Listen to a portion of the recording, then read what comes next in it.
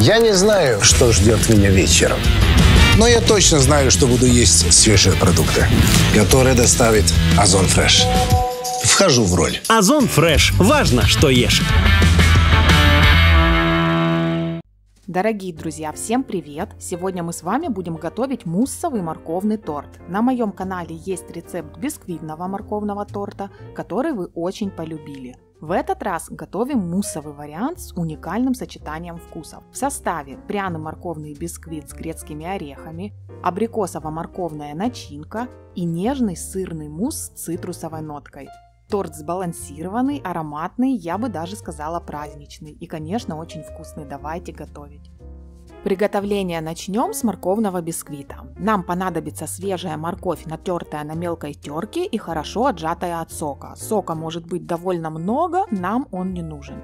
Далее яйцо, обжаренный грецкий орех, нарубленный на небольшие кусочки, но не сильно мелкие. Орех должен давать приятную текстуру в бисквите цедра апельсина, тоже натертая на мелкой терке, подсолнечное масло без запаха, сахар и сухие ингредиенты. У меня здесь заранее просеянная мука, молотый корица, мускатный орех, перец тимут, разрыхлитель и сода. Друзья, иногда во время съемок у меня заканчиваются необходимые продукты для рецепта. И в этот раз я не рассчитала, и мне могло не хватить моркови и апельсина для нашего торта. Поэтому, как и всегда, когда мне нужно быстро купить свежие продукты, я заказываю доставку Озон Fresh. Здесь большой ассортимент продуктов, есть и готовые блюда, и продукты собственного производства, фермерские и локальных производителей, от овощей и фруктов до мяса, рыбы и молочных продуктов. Здесь я беру продукты и для моих рецептов в блоге, и для всей моей семьи. Все всегда свежее и высокого качества. Помимо качества и свежести продуктов, я очень ценю время. Уже в течение часа и даже быстрее продукты у меня под дверью. Если во время съемки я понимаю, что нужный ингредиент закончился, например, как сегодня, то мне намного быстрее и удобнее сделать заказ на Озон Fresh, чем собираться идти в магазин. Помимо недостающих продуктов, я сразу взяла маскарпоне, яйца, грецкие орехи, масло авокадо, молоко, вишневое варенье, различные твердые сыры, замороженные ягоды. Все собственного производства Озон Фреш. Также еще для дочки взяла мороженое, леденец без сахара и кокосовое печенье. Друзья, если вы цените свежесть продуктов и большой выбор, и для вас также очень важным является экономия времени, обязательно попробуйте Озон Фреш. Ссылку я оставлю в описании под видео. А теперь давайте вернемся к приготовлению нашего вкуснейшего торта. Сухие ингредиенты хорошо перемешиваем венчиком. Яйцо взбиваем с сахаром до пышного воздушного состояния и до посветления массы. Добавляем сухие ингредиенты и перемешиваем венчиком. Тесто будет довольно густым. Добавляем растительное масло и еще раз перемешиваем венчиком. Тесто станет красивым и кремовым. Добавляем к нему морковь, орехи и цедру и затем перемешиваем лопаткой. Тесто будет густым, но важно хорошо перемешать ингредиенты между собой. Вот таким должно получиться тесто. Выкладываем тесто в форму для выпечки и максимально равномерно распределяем его при помощи лопатки или чайной ложки, разравниваем его поверхность, потому что тесто очень густое и в духовке оно само растекаться практически не будет. Выпекаем бисквит на температуре 170 градусов, духовка заранее должна быть разогретой и времени понадобится около 20 минут. Но не забывайте, что вы должны ориентироваться по индивидуальным особенностям вашей духовки.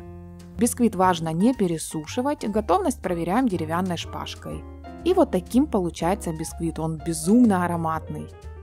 Чтобы бисквит не продолжал подсушиваться от горячей формы, Сразу снимаем с дна фольгу и достаем бисквит из кольца. Даем ему остыть на решетке и затем ненадолго отправим в холодильник. После остывания подготовим бисквит для дальнейшей сборки торта. Для этого срезаем у него верхнюю шапочку, чтобы поверхность была ровной. Посмотрите, бисквит внутри получается сочный, насыщенный, текстурный, совершенно не клеклый и очень-очень вкусный и ароматный. И затем обрезаем его кольцом диаметром 16 сантиметров Избавляемся от подсушенных краешков и подравниваем под нужный диаметр для формы. И теперь бисквит необходимо полностью заморозить. Отправляем его в морозильную камеру. Приготовим ароматную абрикосово-морковную начинку. Для нее нам понадобится пюре абрикоса, морковное пюре. Для этого морковь нужно отварить до мягкости и пюрировать блендером до однородности. Сахар, молотая корица, желатин, замоченный в холодной воде и кукурузный крахмал. Крахмал смешиваем вместе с сахаром. В сотейник отправляем оба пюре, добавляем корицу, перемешиваем. И далее при постоянном перемешивании венчиком постепенно всыпаем крахмал, смешанный с сахаром. Крахмала здесь небольшое количество, поэтому я его весь ввожу еще до нагревания пюре. Теперь ставим массу на плиту и при постоянном перемешивании доводим до кипения. После кипения провариваем буквально полторы-две минутки. Вы увидите, как масса вновь приобретет красивый цвет и загустеет. Снимаем массу с плиты и сразу добавляем набухший желатин. Тщательно перемешиваем, чтобы желатин полностью разошелся в массе. И затем выливаем нашу начинку в заранее подготовленную форму. Я кольцо еще предварительно держала в морозильной камере. Распределяем начинку равномерным слоем, даем остыть при комнатной температуре и затем отправляем в заморозку в морозильную камеру.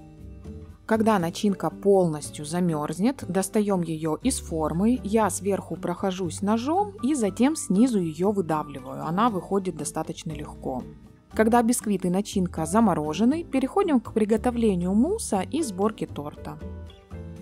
Итак, для мусса нам понадобятся сливки жирностью 33%, сливочный творожный сыр, яичные желтки, желатин, замоченный в холодной воде, молоко, сахар и экстракт красного апельсина. Буквально 1 грамм этого ингредиента выводит вкус торта совершенно на новый уровень, объединяя все вкусы и оставляя яркое впечатление. У меня есть два экстракта разных производителей, включая мой любимый сицилийский апельсин. Главное, чтобы экстракт был натуральным и пищевым. Вы также можете его использовать и для других своих блюд и десертов. Приготовление мусса начинаем, как всегда, со взбивания сливок. Сливки обязательно должны быть хорошо охлажденными. Взбиваем их до так называемого полувзбитого состояния. Такие сливки еще сравнивают с подтаявшим мороженым. Это состояние, при котором сливки максимально насыщены воздухом, они становятся пышными и объемными, начинают немного густеть, но еще не начинают образовывать пики. После взбивания след от венчиков на поверхности сливок сразу исчезает. Вот такими должны получиться сливки. И сразу убираем их в холодильник до использования. Далее подготовим сыр. Нам сыр понадобится теплым около 30 градусов. Для этого его можно или очень аккуратно нагреть в микроволновой печи или на водяной бане. Главное не перегревать его. И затем его нужно тщательно растереть. Можно миксером на низкой скорости до однородного кремового состояния, просто чтобы в нем не было комочков. То есть здесь мы его не взбиваем, а растираем. Далее готовим крем англес. К желткам добавляем примерно половину сахара и сразу же тщательно растираем венчиком. В сотейник выливаем молоко и добавляем вторую половину сахара. Отправляем молоко на плиту и нагреваем до полного растворения сахара и появления пара, но не доводим до кипения. Горячее молоко тонкой струйкой вливаем в желтковую смесь, непрерывно помешивая венчиком.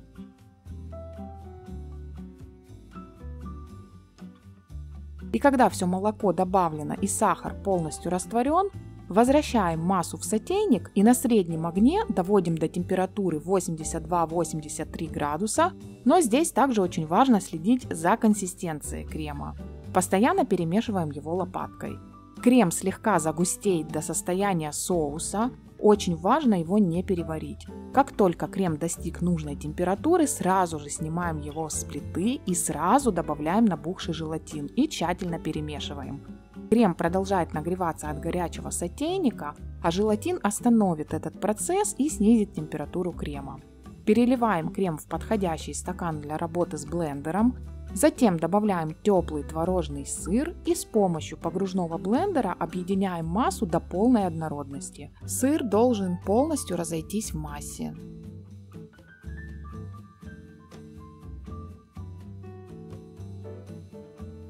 И затем добавляем экстракт апельсина и еще раз хорошо объединяем. И нам остается соединить эту сырную массу со взбитыми сливками. Перед добавлением сливок необходимо массе дать остыть до температуры ниже 35 градусов. Это важно. Можно, например, поставить стакан в чашу с холодной водой и аккуратно перемешивать. Также в это время подготовим форму для сборки торта. Я использую универсальную силиконовую форму, которую нужно установить на подложку. Когда температура сырной массы опустилась до 33-30 градусов, приступаем к соединению со взбитыми сливками. Сначала сливки слегка перемешиваем после охлаждения, и затем тонкой струйкой при непрерывном перемешивании лопаткой вливаем сырную массу во взбитые сливки. И после добавления всей массы тщательно, но бережно объединяем лопаткой до получения однородного, невероятно вкусного и ароматного мусса. И сразу приступаем к сборке торта. Для удобства я переливаю мусс в стакан. Итак, заполняем форму для торта муссом более чем наполовину. Выкладываем в мусс начинку, слегка помогая ей утонуть, чтобы мусс начал ее накрывать. Далее сверху наливаем еще немного мусса, не доходя до края формы. Оставляем запас для бисквита. И затем выкладываем замороженный бисквит, равняем мусс по краям формы и убираем торт в морозильную камеру до полного замораживания. После заморозки достаем торт из формы, при необходимости сглаживаем неровности ладонью и сразу же покрываем его зеркальной глазурью или велюром. У меня на канале есть рецепт классической зеркальной глазури, которым вы можете воспользоваться. Также я скоро сниму еще один рецепт глазури, который часто использую. После покрытия торт необходимо сразу же убрать в холодильник на дефростацию. Дефростация займет примерно 8-10 часов. И, друзья, наш торт готов. Торт получается очень вкусным, пряным, нежным, с разными текстурами и яркими нотами во вкусе. И, конечно, он очень красивый в разрезе. Друзья, я надеюсь, что видео было для вас полезным, интересным и вдохновляющим, и вы приготовите этот торт и попробуете его. А у меня на этом все. Я, как всегда, вас всех благодарю за внимание. До встречи в новых видео. Пока-пока.